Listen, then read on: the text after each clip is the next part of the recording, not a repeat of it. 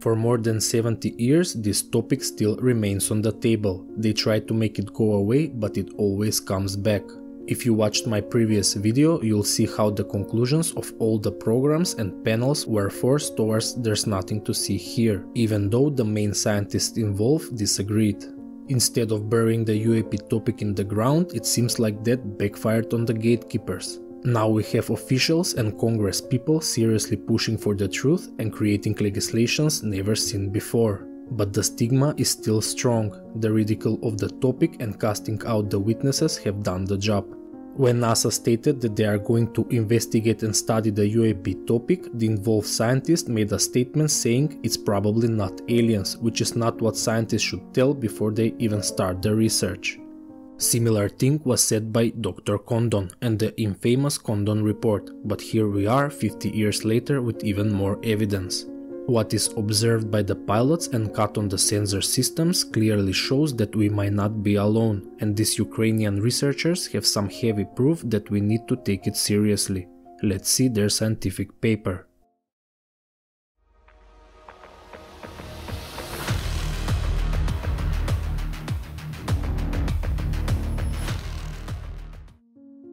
The main astronomical observatory, NAS of Ukraine, conducts an independent study of unidentified phenomena in the atmosphere. Our astronomical work is daytime observations of meteors and space invasions. The main feature of the UAP is its extremely high speed. The eye cannot capture phenomena lasting less than one tenth of a second. It takes four tenths of a second to recognize an event. Ordinary photo and video recordings will also not capture the UAP. To detect UAP, we need to fine-tune the equipment, shutter speed, frame rate and dynamic range. According to their data, there are two types of UAP, cosmics and phantoms. Cosmics are luminous objects brighter than the background of the sky and phantoms are dark objects. For the observations, they used two meteor stations installed in Kiev and in the Vinarivka village in the south of the Kiev region. The distance between the stations is 75 miles. The stations are equipped with ASI 174mm and ASI 294 Pro cameras and lenses with focal length of 50 and 28 mm. The ASI 174 camera has field of view of 4.08 degrees, pixel size of 24.2 arc second, actual frame rate of 46.9 frames per second. The ASI 294 Pro camera has field of view of 9.7 degrees, pixel size of 34.1 arc second and frame rate of 50 frames per second. From simple trigonometry, it's easy to determine that objects at a distance of more than 619 miles will fall into the field of view of the cameras. Now let's see examples of what they've captured. Here we can see an UAP that they described with the name Phantom. The object has zero albedo, which means it's a completely black body that does not emit and absorbs all the radiation falling on it we see an object only because it shields radiation in the atmosphere. By applying their algorithm shown in the study, they estimated the object distance at 3.1 miles and the speed not less than 4.3 miles per second. They've captured another phantom object flying at a distance of 2.1 miles. Estimated size of the UAP is 3 meters, traveling with speed of 8.6 miles per second. That makes the speed to be 30,000 miles per hour. Those numbers given with the impossible acceleration would disintegrate any object or material known by man. But yet here they are, seen by many people, military personnel, pilots and captured on multiple high-end sensors. It's clear that these UAPs are very hard to detect and in my own opinion they are only seen when they want to be seen or as the rumors go when they are baited. There are many speculations that the military is baiting UAPs on purpose and it has something to do with nuclear weapons. Obviously the study was discredited by the skeptics who barely glanced through the paper and declared that the objects are probably insects or birds.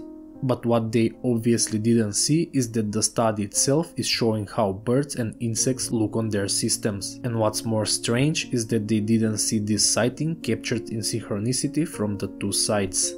It's necessary to synchronize two cameras with an accuracy of 1 millisecond. Shoot at a rate of at least 50 frames per second is needed. In a field of view of 5 degrees, at a base of 74.5 miles, objects above 621 miles can be detected. So this clearly rules out birds and insects because they can fly in space.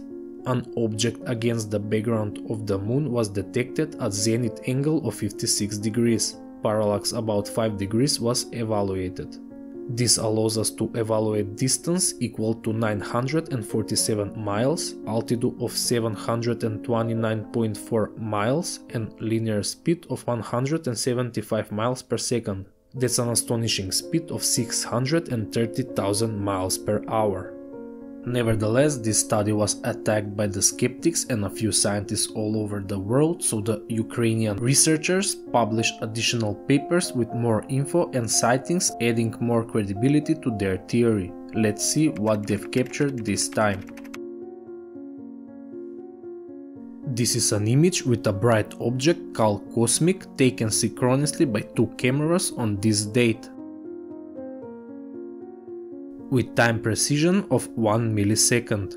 A parallax of 2.66 degrees gives a distance to the object of 1615 miles. The estimated altitude of the object is 792 miles. Vinarivka Observatory with 6 shots gives an angular velocity of 1.73 degrees and a linear velocity of 78 km per second. Again they managed to capture one object on two cameras separated by more than 74 miles, something that every UFO hunter dreams of. The objects cannot be birds or insects because that's impossible to be captured on two cameras at the same time and they need to be at a distance of at least 600 miles. Their algorithm also proves that it's the same object with the same color map and intensity variations.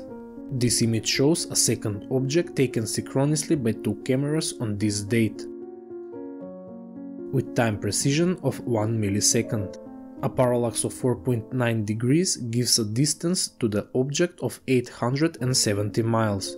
The estimated altitude of the objects is 385 miles.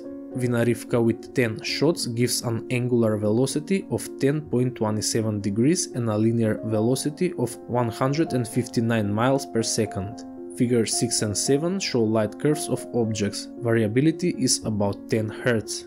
They've also include an object who rapidly changes the trajectory as a direct dispute to Dr. Avi Loeb's response that they've probably captured military shells.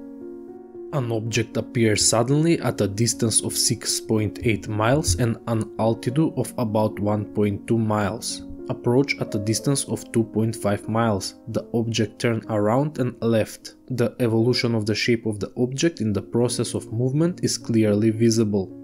I've heard Lou Elizondo, the pilot Ryan Graves and some other pilots state that our current sensors are not made for capturing these UAPs. They are perfect for capturing man-made objects or celestial bodies. Given what these researchers suggest, we should make better systems for capturing these objects so we can study them better. I will leave the three papers in the description. Everyone needs to read them and see all the examples they've managed to capture, their algorithm and how they even managed to deblur the UAPs and remove the motion blur to make out the shape of the objects. Also you need to check Chris Lehto's video on this topic, the link will be in the description. If you want to help me, consider supporting me on Patreon, because you are the only way for this channel to be sustainable. Big thanks to my Patreon supporters. Also, you can leave me a one-time donation on Buy Me a Coffee. Links are in the description. Don't forget to like, share and subscribe. See you in the next video.